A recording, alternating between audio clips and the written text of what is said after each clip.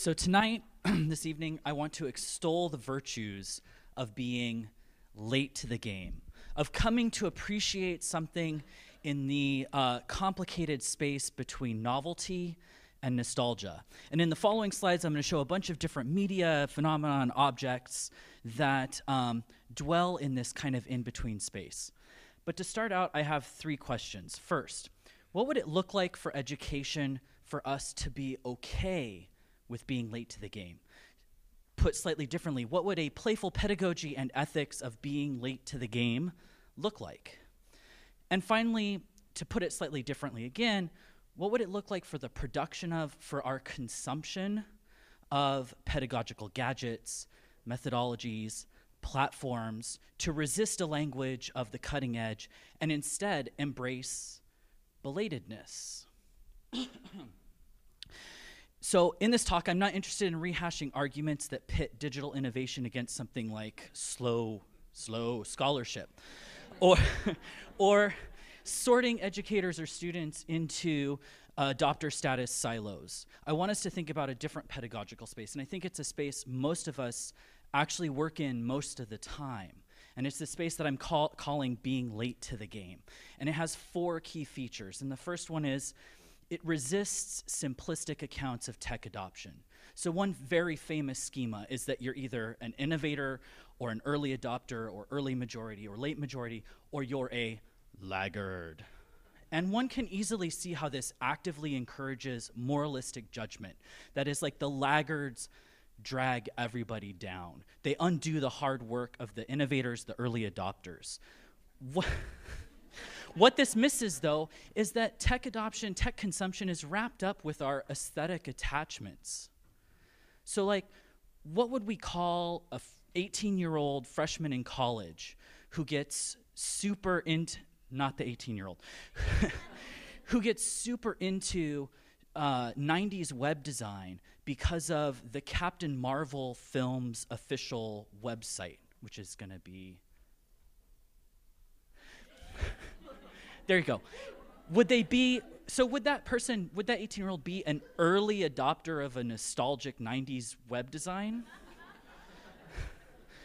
what would, how would we characterize voices that levy serious critiques against ed tech platforms, even as the same people with those voices we would understand to be early adopters or innovators? Being late to the game allows us to jettison the idea that tech adoption transparently signals some sort of particular virtue. Second, being late to the game reveals the ways our aesthetic attachments refuse to follow. Oh, that's a good one.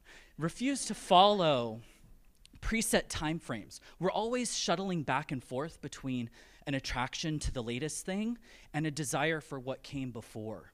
And we inhabit really complicated, conflicting temporalities. We dwell with really complicated desires. And I think our response to that situation for ourselves, for others, for other educators, for other students, should be patient. Third, it responds critically to design and aesthetics in a hypermediated age. So, who gets passionate about a 1989 Ford Taurus? Yeah? No? No? Hipsters? Any? No? I mean, people may be desiring the latest iPhone and they may be interested in the first iPhone, but who cares about an iPhone 4? Right? All of this stuff up here has been, um, you know, objects, media, phenomenon that frankly have uninteresting aesthetics. Um, in contrast to this are objects that are, as Sianne Ngai puts it, cute or zany, things that attract our attention.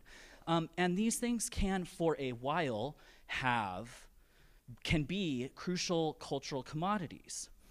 Um, and I've totally lost. So, point four. on to point four. Uh, being late to the game also reflects on issues of inclusion and exclusion. It's exciting to be on the cutting edge. but we need to perhaps reconsider who we count as being on the cutting edge, and we need to consider the ways in which the uh, kind of following after the next thing um, means some people are struggling to catch up, to follow the rules, because the rules keep changing on them. And being late to the game means welcoming people into play where clarified, inclusive rules are the norm. So, really quickly, by way of conclusion, being late to the game, four key features. Resist simplistic accounts of tech adoption. Second, reveals how our attachments, our aesthetic attachments, refuse to follow easy timeframes. Third, responds critically to design and aesthetics in a hyper-mediated age. And finally, considers and reflects on inclusion and exclusion. Thank you.